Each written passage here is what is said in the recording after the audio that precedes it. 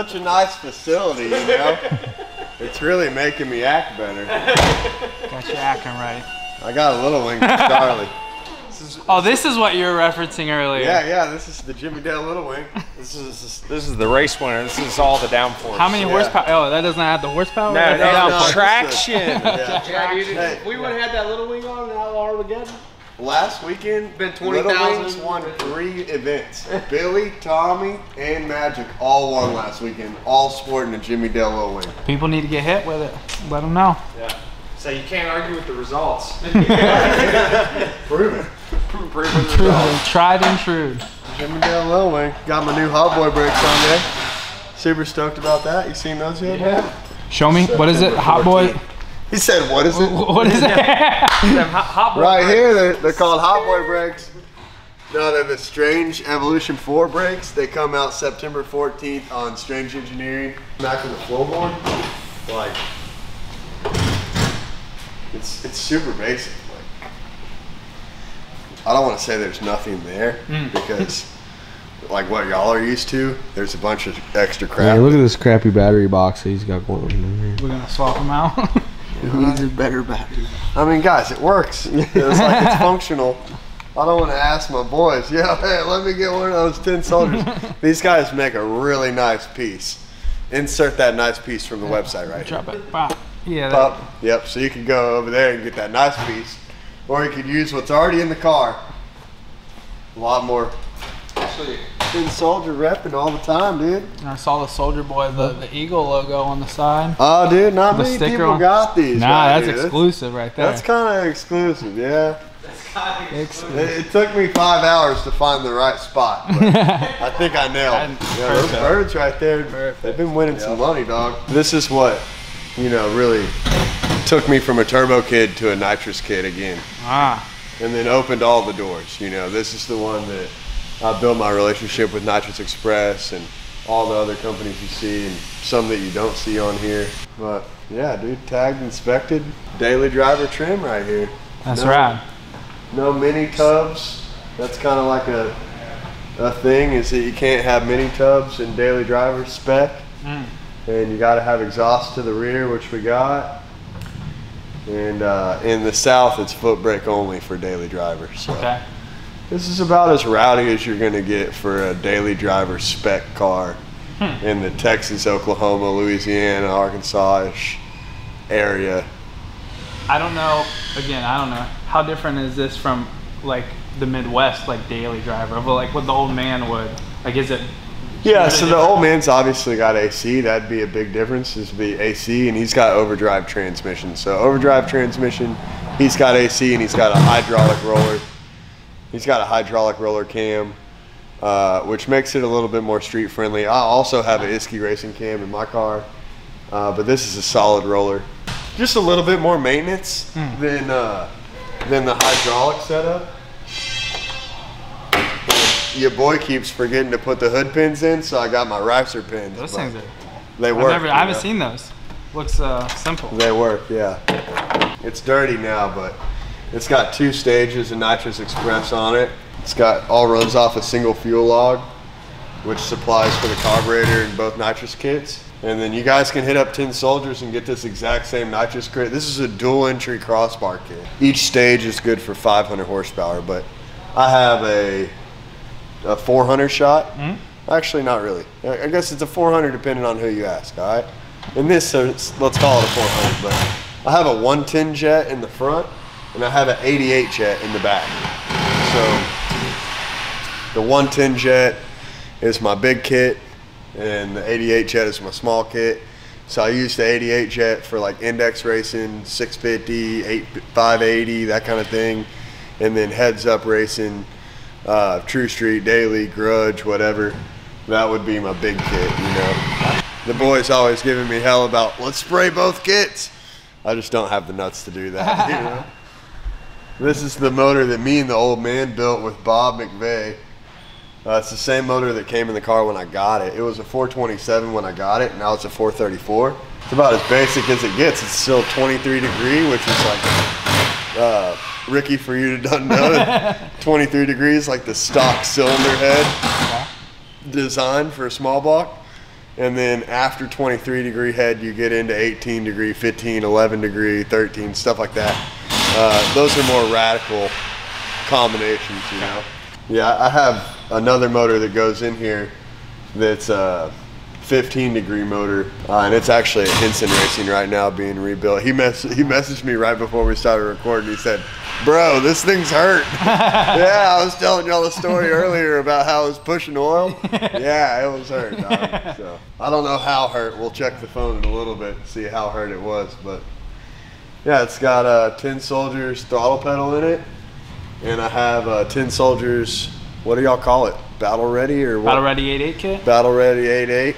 This is the 88 that was in the car when I got it. My Okay. Battle Ready 88 just got powder coated today, so it's back in Texas.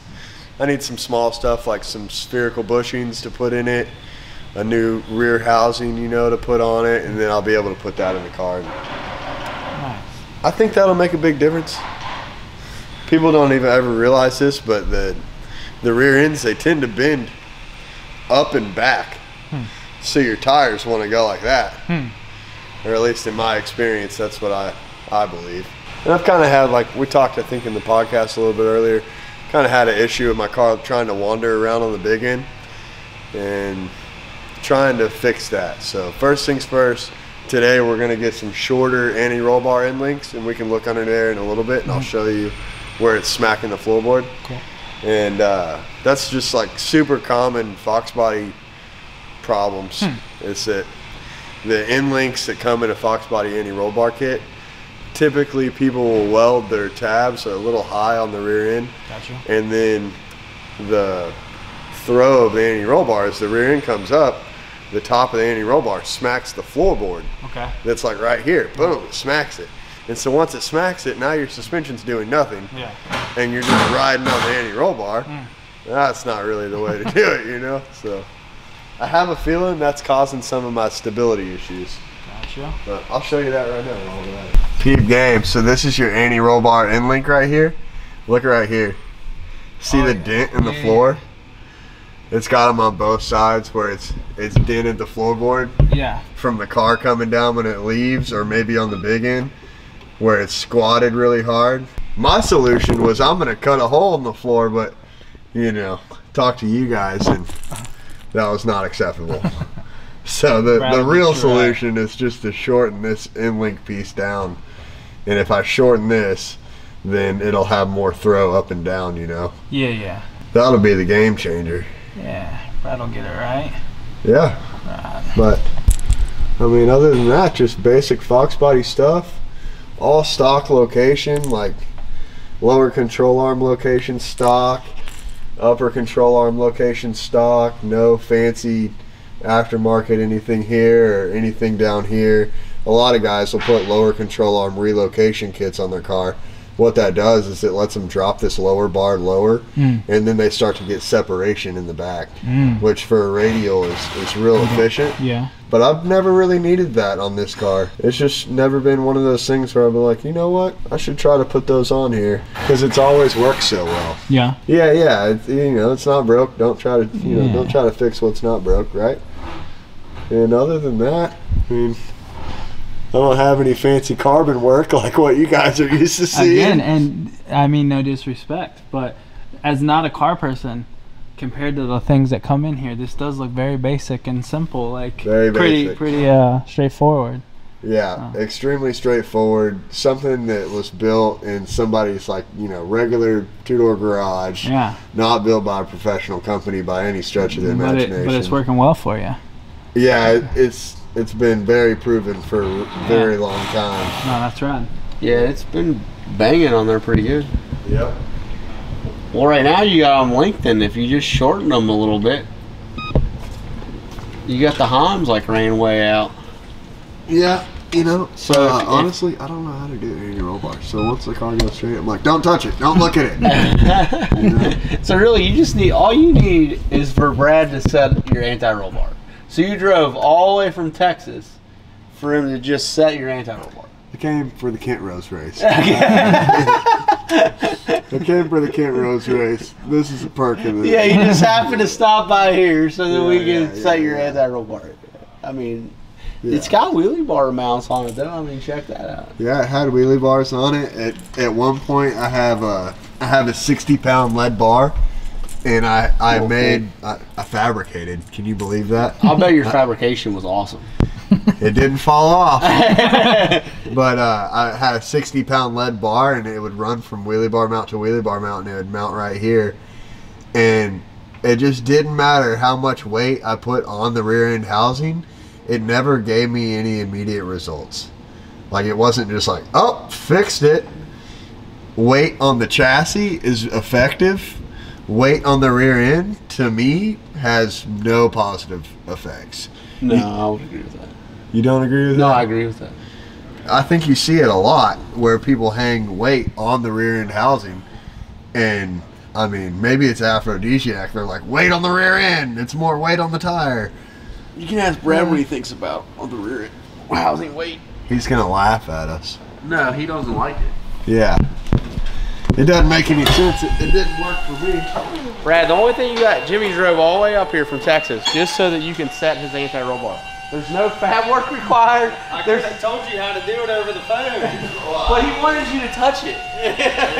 Touch it. What? Touch it. What do you think? What's your guess? Is this Uh, with you in it? No, without me in it. Without you in it? Have you ever had it on? Yeah, but I forgot. It, and it, I had ballast in it when it was on the scales, and There's no ballast. in no it. ballast in it.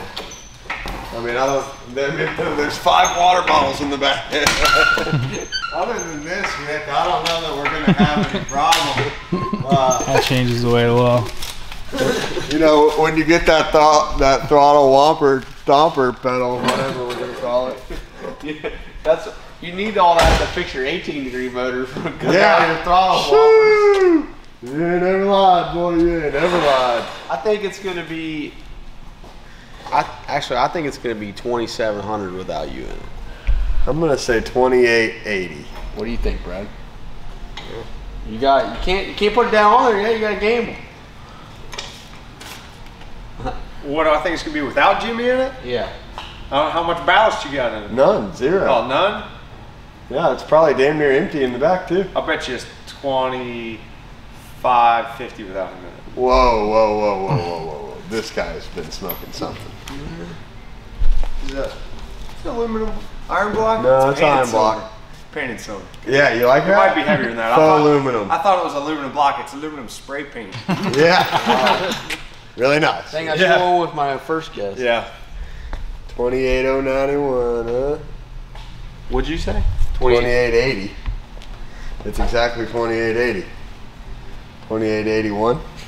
See, if you had an aluminum block, then you could be like, oh, it's 2808. Is a character dyslexic? Oh, so I'm 80 pounds off. Yeah. Hmm. 2808. Now what can I take off? I did agree with Brad. I thought that that motor was aluminum. huh? I thought it was, and then I looked at it harder, and I was like, oh, there's some spray paint chipping. Yeah, we can't afford aluminum blocks where we're going. All right. You're just used to the typical customer in here that's got aluminum block. You need to do some cutting, bud. yeah, I know. Heavy for a Where? Mustang. Where are we cutting it? Everywhere. I'll say after this, you can go over and look at the Gray Mare. I did. See I what an all steel, all glass I don't know if this Fox has, body looks. if this has door bars or not. That's Wow. all steel, all glass ish. if you want to set the anti-roll bar ones on the scale. Yeah. You need, Hop in there, bud. Time to be a race car driver. No, the door. Cutting on this. This thing's a tank. Yeah. Look, the the dash is all gutted. Not gutted enough. Said not gutted enough. Got a headliner. Got this little light thing. Was it going straight last time you had it out, or was it going to the right? I don't know. You don't remember? It was going to the right because I was counter steering to the left. Yeah. He already knew the answer of which way I was going. Just looking. I at had it, to he think knew. about it, but I almost hit the left wall last time. So it's like, okay, that means that I was doing this number. You know? This is a lot better with the seat pad in there. Like a lot better. You're welcome. Yeah. Just need a little guy to sit in there for a second. This is a great move. Really good move. Did you change your anti-roll bar? Did it you? Did it used to have one of the double linkers in here? No, hell no. For some reason, I thought it did. That'd be embarrassing as fuck. Yeah. Absolutely not. I mean, that was probably bent, to be honest with you. yeah. It's pretty little. It'd be all right though. Good enough for a 119. Yeah, yeah, it's good enough for 119 how it is. yeah. I picked up a fit to the 60 foot, tightened in the front. Yep. If the front's too fast, it'll come up and un- and then when it tops the front end out, it'll unload the tire. Say that again? If the front is too fast and it comes up and tops the front shock, shock out or hits the front limiters Yeah. and it doesn't carry a wheelie, it'll unload the back tire. So it's either got to be loose enough that it wheelies or tight enough that it doesn't come up and smack the limiters or the top of the shock. Uh, what if I told you I had someone sit on the front of the car and put the limiter fit in? Okay, well that yeah, that's like for radial prep.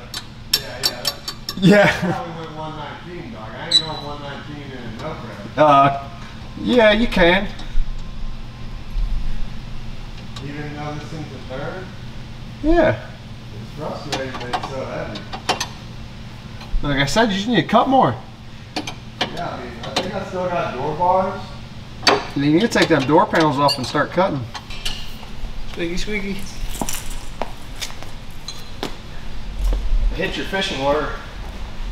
Yeah, you like that? I like that. There you go. That should go straight. It actually scales out good left to right with the anti-roll bar neutral. So if you ever gotta mess with it again, just sit in the driver's seat and have somebody neutral it out for you. You know how to do that? Go down, go down Broadway. Yep. So, I'll always do the, the passenger side link. You should never have to touch the driver's side link. You just do the passenger side. Yeah. With you sitting in it, Yeah. just have somebody crack the jam nuts loose and spin it till it's sloppy, till it's free, and that's neutral. Yeah. Lock her down. Yeah. Alright, good. Easy enough. Yeah.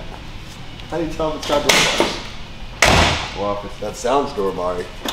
So it's got like spot welds in here. And then there's a welded bar going across. I mean, your door panel's about falling off, but Oh, yeah. You just take her, yeah, get a little peek. Yeah, I got you. Shine some light up in there. I can't see It'd be on the other side of the glass. Oh, I don't see. You see it? Yeah, you see that big old bar running across there? You Roll your windows up, cut them out. That's free weight. How much is that? I mean, they're probably 15 pounds a side. Really? Yeah. With the cutoff wheel, Rookie. Look, it's already coming off like you said. It's already helping you. It wants to be light. Yeah, for sure.